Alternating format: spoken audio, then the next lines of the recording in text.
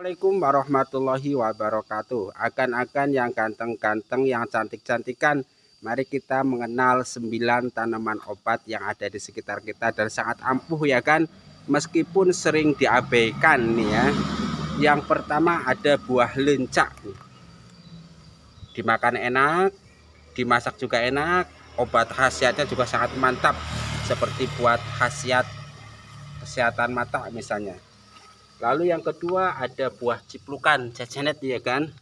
Ciplukan ini buahnya sangat enak, manis, tetapi juga khasiatnya banyak. Nah, kalau mau buat obat misalnya ciplukan bisa dirabut kayak gini nih. Ambil tiga pohon.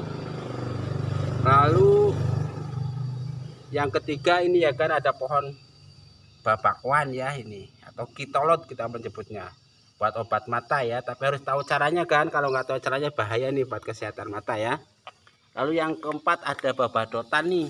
Babadotan juga sama, bagus pada kesehatan lambung, kanker dan lain-lainnya. Dan kita harus tahu caranya nanti pada video yang lainnya. Lalu yang kelima ini ada gendola atau binahong merah atau bayam Belanda kalau nggak salah itu ya. Nah lalu yang kelima ini ada seserihan atau sirih Cina ya. Yang keenam ini nih ada daun sembung. Ya yang ketujuh ada ini. Tempuyung. Yang kedelapan itu ada ini. Awar-awar ya. Nah coba kita bilang lagi masa delapan. Harusnya sembilan kan? Coba kita hitungnya ini satu. Takokak eh tako apa namanya lenca kedua ciplukan atau cecenet keempat kitolot atau babakwan ini kelima. Apa namanya itu apa tadi namanya kan lupa? Babadotan ini ya. Yang keenam ini bayam Belanda atau gendola.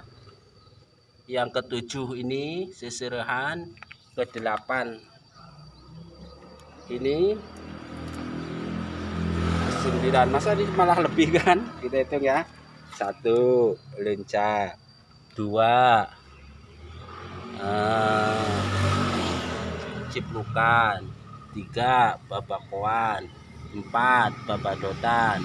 Lima nah, bayam Belanda atau gendola 6 sirih Cina atau ses ya kan tuh. 7 nah ini baru pas nih. Daun sembung 8 tempuyung. Nah lalu yang ke 9 ini awar-awar. Nah semuanya ini adanya di sini kan tuh ya. Tadi dia tumbuh liar di sini biasa kalau tempat-tempat itu istilahnya kurang terawat dia akan tumbuh rumput. Dan salah satunya di sini nih ya. Mudah-mudahan bermanfaat. Itulah sembilan tanaman obat yang sering berada di sekitar kita. Khasiatnya pun sangat ampuh. Sekian dan terima kasih. Wassalamualaikum warahmatullahi wabarakatuh